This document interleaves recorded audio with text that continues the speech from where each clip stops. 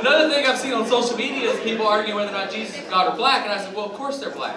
Because if God's going to put someone down in his, his image and bring them to earth, they're going to have the biggest dick and be the most athletic. Yeah, right? God didn't ride the bench.